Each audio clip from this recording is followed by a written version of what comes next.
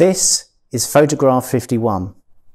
It's a print of arguably one of the most important objects we hold in King's College London archives and one of the most important photographs ever taken.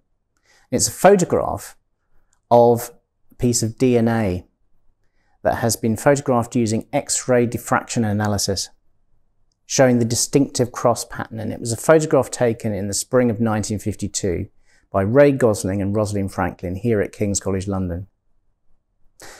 Now, this was key in determining the helical structure of DNA.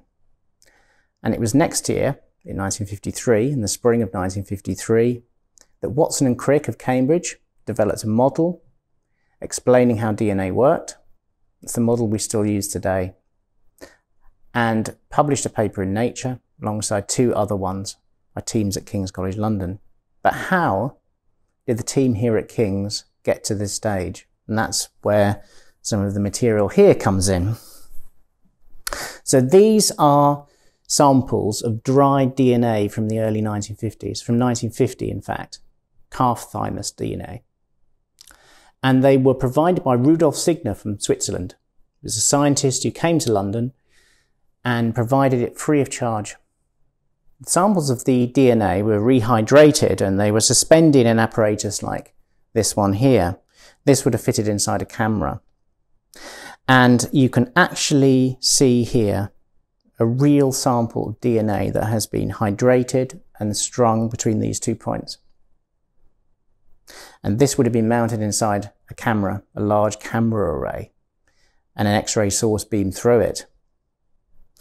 Now, Ray Gosling, who was a PhD student, and the newly recruited Rosalind Franklin got to work on analyzing DNA using this camera here.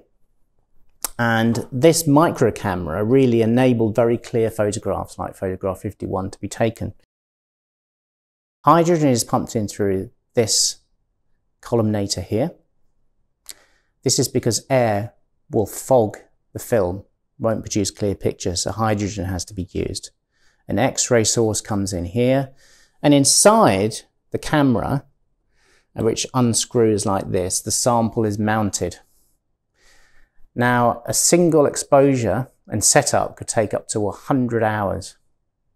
So this was painstaking, deliberative work by scientists at the top of their game.